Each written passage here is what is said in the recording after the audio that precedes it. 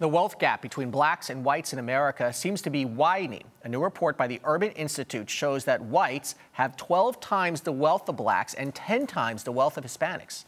Ivory Johnson, founder of Delancey Wealth Management, joins us once again here on Arise Xchange to talk to us more about the, the details. Ivory, thank you for, uh, for joining us. First, any surprises for you in this report?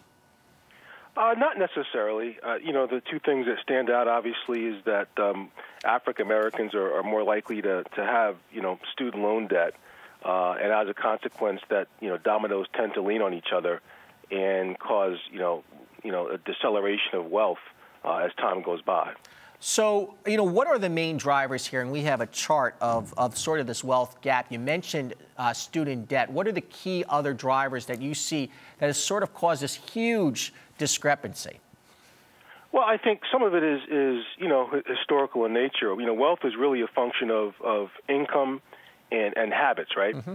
And so if you look at the, the, the, basic tenets of capitalism, which would be, you know, fungible property and access to capital, uh, being paid according to what the free markets are willing to bear, uh, enforcement of contracts, some of these things weren't always available. Um, my parents are actually the first generation that can take advantage of these things and can generate the income. But what they didn't have was the experience in actually managing it. So the conversation that my father had with me about working hard, going to college to generate more income – I'm having a totally different conversation with my son, which is to say we're talking about how does he, um, you know, the estate plan, uh, you know, what to do with property when he inherits it. Never buy a new car because you lose 30% off the lot. These are conversations I didn't have with my father, but they're creating habits for my son.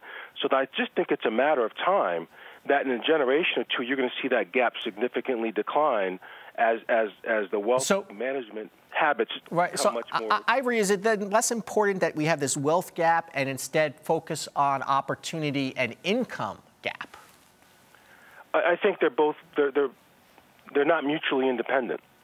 Um, you know, there, there's an income gap, but again, think about that. I mean, right now, African Americans are probably the fastest growing demographic for businesses, for creating businesses. Mm-hmm. They don't have the receipts, but when you have uh, a significant student debt load, well, that's money that you can't use to buy a house, right? So the equity you would have had in a house that you could have used to start a business isn't there.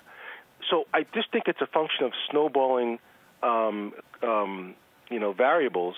But over time, I think those will start to mitigate, and I think that gap is going to is going to narrow. You know, the report also cites sort of the housing crisis. There's no question about it that minorities got hit harder during the housing crisis.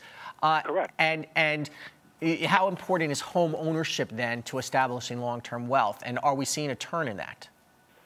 Well, we're, we're not seeing a, a turn necessarily, but remember, African Americans were three times as likely to get a subprime loan, even though they had the same credit as their so called lighter counterparts. Mm-hmm. So when that housing market dipped, they got hurt the worst. Again, it's a function of habit, right? So if they were, if, if they had an elder, elder family member talking to them about this is what you do when you get a loan. If they had a family member who was, you know, well versed in, in the real estate market, that would not have happened to them.